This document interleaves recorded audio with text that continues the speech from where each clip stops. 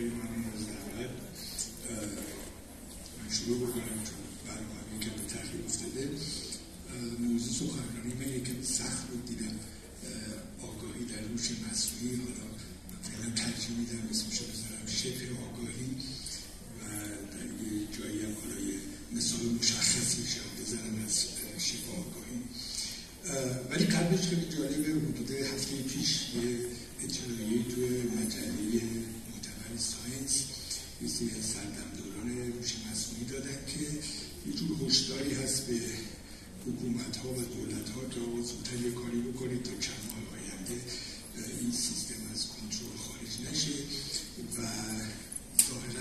قبل از اینکه این سیستم بتونه برنامه‌ریزی دراز مدت انجام بده. مثال هم مثلا جالبه گفتن مثل یه رهبری میمونه که مجبور یه جنرال ارتش استخدام بکنه تو بهش نیاز داره ولی میترسه که این جنرال علیهش کودتا بکنه. به زودی. و جنرال هم اگه باهوش باشه خب اول خودشو خیلی فرمان بردار نشون میده و بعد در شرایط مختزی دست به کودتا می‌زنه. مقایسه کردن سیستم ممکنی همچی اتفاقی داره. میفته براش.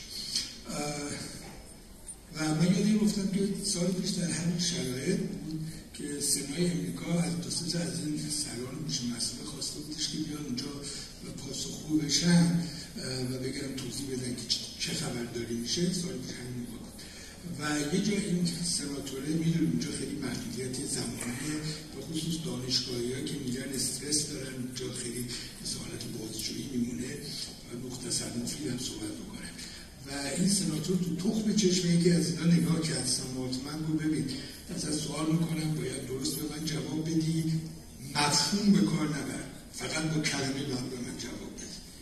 این سامارتمن هم همینجور میخکوب شده بودش که خب حالا باید کلمه به کار بره و گفت این برای حیات بشر خطر داره یا نه؟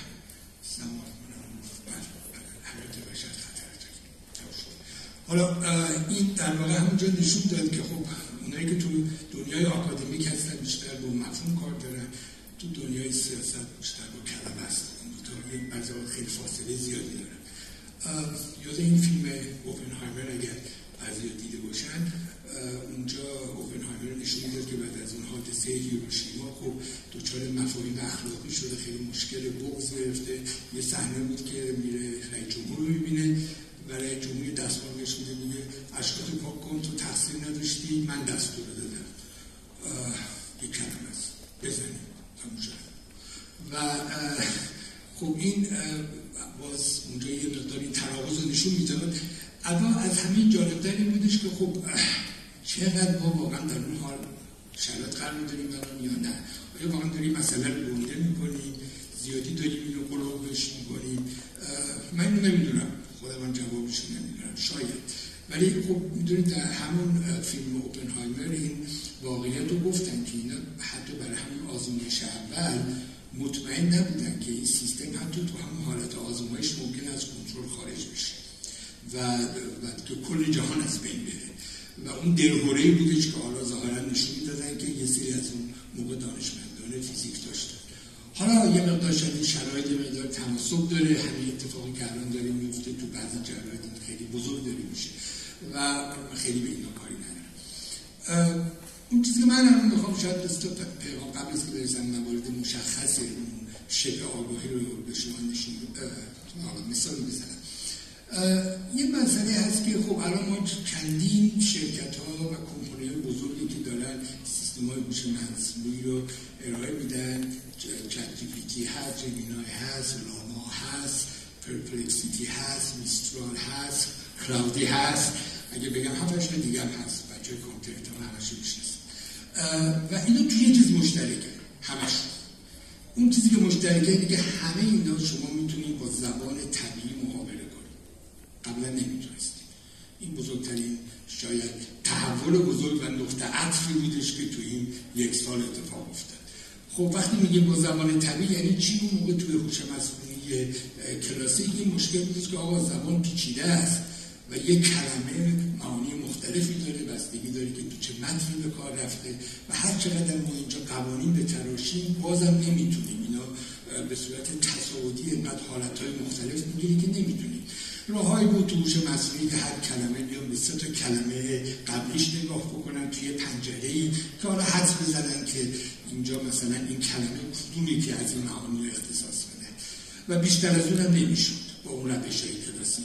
با روش جدید نه الان در واقع توی این محاورات که داره انجام میشه به جای سه کلمه قبلی بعضا تا سی هزار کلمه قبلی الان می‌تونن نگاه بکنن و یه چیزی که اخیرا اومد بیرون تا اندازه پنجره محاوره می‌تونه به اندازه کتاب جلوسول تولستوی باشه. و اتفاقا برای اینکه رو تست بکنن یه تست قشنگی کردن. مثلا فرض کنید یه چیزی شبیه کتاب جنگ صلح رو داده بودن که این بیاد خلاصه بکنه این کتاب چون می‌دونید یکی از کارهایی که شما می‌تونید بگید زبان طبیعی رو با هم می‌فهمید. و نه فقط مثل یه توتیوار اون رو داری تکرار می‌کنی درست که یه متن بدم که اینو خلاصش و به این خلاصه درست در میاد یا نه. حالا جالبی یه کتابی در مثلا مقیاس تولستوی بهش داده بودن یه چیز حدود 550 هزار تا کلمه است. بعد گفتن اینو خلاصه کن. بعد دو خط هم همینجوری توش اضافه کرده بودن در مورد پیستوهای خوب ایتالیایی. و وقتی خلاصه کرده بوده پاسخی که داده بوده بوده خب حالا خلاصه این کتاب ولی در ضمن دو تا جمله بی ربطی هم اینجا در مورد پیستای ایتالیایی بود. یا خواستید منو تست بکنید یا خواستید جوک بگید کدومش در واقع؟ و خب این یه مقدار برایشون حیلت زده شده حالا زبان طبیعی اصلا شوخی نیست و الان این سیستم ها که همه این سیستم هایی که گفتم می‌تونن این محاوره و با یه پنجره محاورهشون هم خیلی بزرگه این کار انجام بدن. خب در واقع یه مقدارم با این استدلال پشتش هست غیر از اون فهمیدن. ولی همه اینا رو فعلا می‌تونیم اون لفظ شبه رو بهش اضافه بکنیم که بگیم اینا شبه استدلال دارن شبه توضیح بهی دارن و غیر ولی به هر حال همین زبانی که بگیریم یه مقدار اگر دقیق بگیم خب یعنی چی؟ یعنی ما یه سری اطلاعات به این سیستم میدیم یه زبانی رو می‌فهمیم. حالا ما تا حالا اطلاعاتمون متونی بوده که بهش دادیم زبان طبیعی رو فهمیم ولی اونایی که با اطلاعات پروتئینی کار می‌کنن اطلاعات پروتئینی بهش دادن بعد ادعا می‌کنه که خب حالا یه مقدار زبان پروتئینا رو فهمیده. یعنی چی؟ یعنی این نیست که ما یه زنجیره آمین اسید بدیم سه تاشو حذف کنیم ازش بخوایم که به نظر تو این سه تا آمین اسید چی این الان پزشکا یا اونایی که رو پروتئین کار می‌کنن خیلی رو داروسازی کار خیلی خوب بلدن نه یکم فراتر رفته. یعنی ما یه زنجیره آمین اسید بدیم میگیم که شکل سبودیشو به نظر تو چیه و این شکل سبودی می‌تونه چه نوع واکنشی با یه سری مولکولا داشته باشه. و الان که داری یه مقدار این کارا رو می‌کنه حالا هنوز قسمت اولش هست بعد گفتم خب تقریبا این زبان پروتئین رو میفرمته اون پایگاه داده که صد میلیون پروتئین بودن این روش تعلیم دیده خوب و به حال این خواص داره از خودش نشون میده.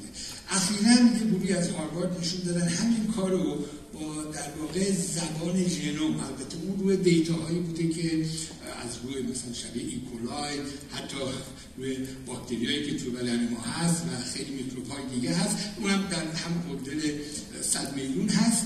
و الان اون به این نکته خود جالب رسیده شبان زبان طبیعی. یعنی یه ژنوم که حالا 20 ساله که اینو خوب فهمیدن که به حال یک ژن می‌تونه در متون مختلف که قرار می‌گیره کارکردهای مختلف داشته باشه. حالا اینجا در مورد ژنوم متون یعنی چی اون نتورک های پروتئینی که این درش آغشته هست.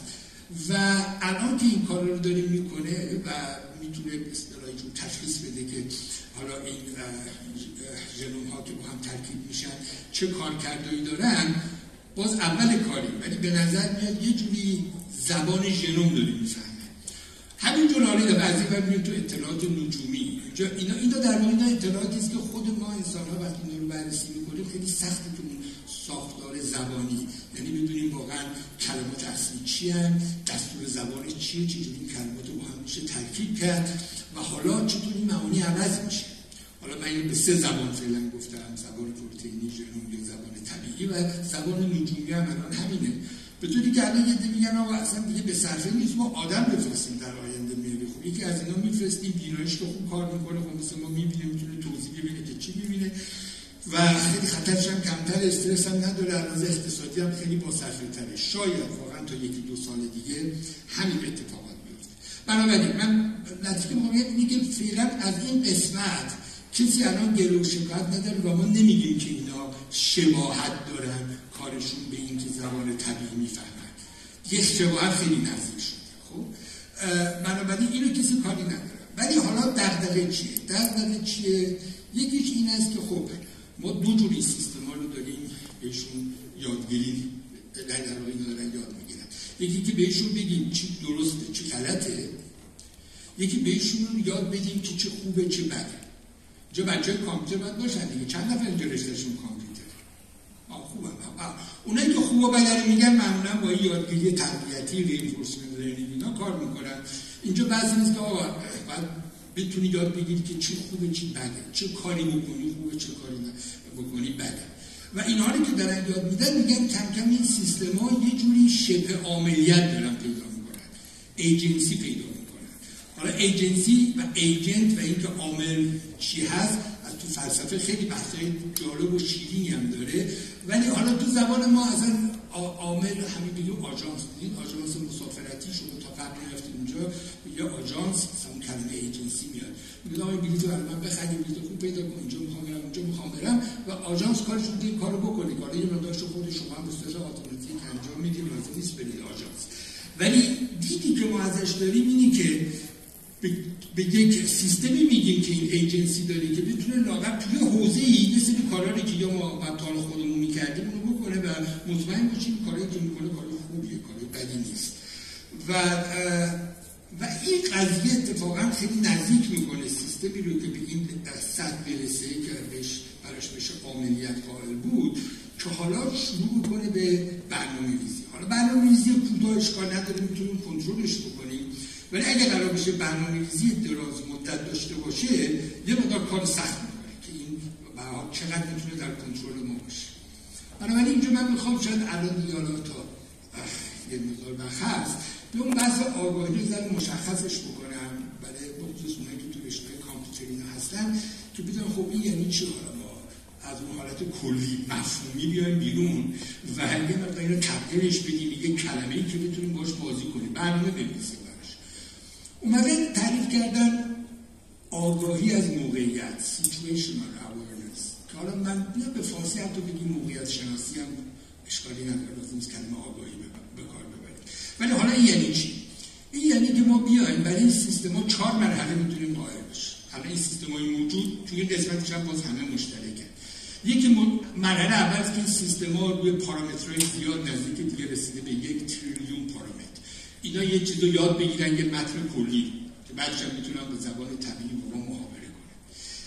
یه مرحله هست که فاین تونینگ که یکی میگه حالا اونا رو یاد گرفتی من می‌خوام یه رستوران باز کنم آشپزی بکنم. تو می‌خوام باید اطلاعات آشپزی اینا باید خوب بشه. و اون سیستمی که قبلا یاد گرفته تو متنهای بزرگ خوب ترین شده حالا بیاد فاین تون بشه مثلا برای این اطلاعات آشپزی. حالتی نیست که حالت آزمایش حالا بیام آزمایشش بکنم بگم مثلا اگه قرمه سبزی رو من توش کچاپ بریزم بازم خوشمزه میشه. اینا ببینم مثلا چی میگه؟ میگه این کار بدیه کار خوبیه. چجوری میگه؟ این مرحله آزمایش. اگه خوب مطمئن شدم حالا برم اینو بذارمش کار بذارمش وصلش بکنم و حالا فرض بکنی یه مشتری هم هست که من گفته هفته دیگه تو رستوران من می‌خوام مهمون خانوادگی بگیرم می‌خوام غذاها خیلی خوب باشه. من اطمینان بکنم به این آژانس بگم کاری هر کاری می‌خوام خب آگاهی موقعیتی یا موقعیت شناسی میگه اگه این سیستم بتونه خودش بفهمه که الان تو چه مرحله تو مرحله اول بوده تو مرحله fine-tuning بوده تو مرحله آزمایشه یا الان تو مرحله است که گذاشتن سر کار. اگه این چهار تا رو بدونه اولا می‌تونه کلک بزنه. تو سه تا مرحله اول خودش رو خیلی فرمانبردار نشون بده. تو مرحله آخر که deploy شده از قراری که غذای شب رو آماده بکنه و حال کار خراب این همون ترس که گفتم. اون گروهی که هفته کش توی مجله ساینس دادن گفتن اگر اتفاق گفتید این نمیشونه کارش بکنید و این سیستم های پتانسیل رو دارن که به اونجا برسن. حالا ولی این به هر حال میشه گفت یه قدم ما رو جلوتر می‌بره که به این سیستم تحکیش شرایطی میگیم آگاهی داره یا نداره فعلا اینو تقسیمش می‌کنیم به این چهار تا مرحله. خودش اصلا چیز کمی نیست. و بعد تست اما اصلا تستایی که داره با این سیستما میشه که آیا این سیستم می‌دونی که الان در چه مرحله هست یا نه.